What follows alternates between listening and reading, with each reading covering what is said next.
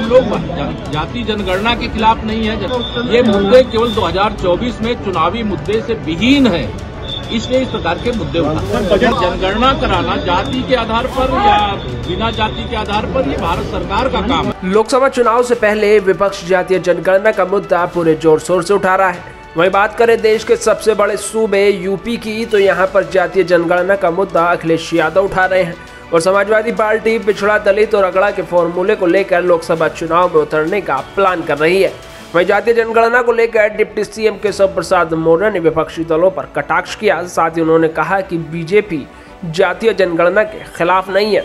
जातीय जनगणना की बात करने वाले राजनीतिक दलों ने सत्ता में रहते हुए कभी भी पिछड़े वर्ग के साथ कोई न्याय नहीं किया और उन्होंने कभी उन्हें उनका हक अधिकार नहीं दिया है। समाजवादी पार्टी हो, चाहे कांग्रेस पार्टी हो, चाहे कोई भी पार्टी हो तो जाति जनगणना की बात कर रहे हैं तो जाति के नाम पर सत्ता में रहते हुए न्याय नहीं किया, अपनी पार्टी में न्याय नहीं किए, सदैव पिछड़ों का दमन करने का काम किए हैं, विशेष तौर से अति पिछड़ों का दमन करने का काम किए हैं, उनके अधिकारों का हनन करने का काम किए हैं।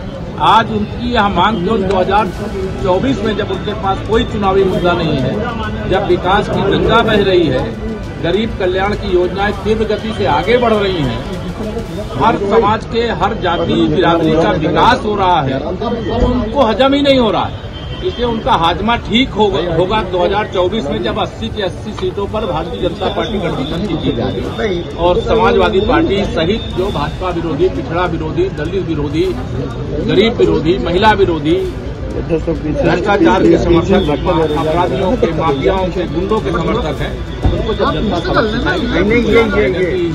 हमें गलत रास्ते छोड़ करके वही रास्ता जो भाजपा का रास्ता है जो भाजपा की विचारधारा है वही उनको आने के लिए विवश होना पड़ेगा। सरकार का स्टैंड क्या है सर? जनगणना सरकार का स्टैंड जनगणना को लेकर के जनगणना कराना जाति के आधार पर या बिना जाति के आधार पर ये भारत सरकार का काम है। उस पर भारत सरकार विचार करके हम लोग जाति जनगणना के खिलाफ नहीं है जनगणना के कार्यक्रम जो होने, वो भारत सरकार से होने, राज्य सरकार से नहीं होने। ये मुद्दे केवल 2024 में चुनावी मुद्दे से विहीन है, इसलिए इस प्रकार के मुद्दे उठाते हैं।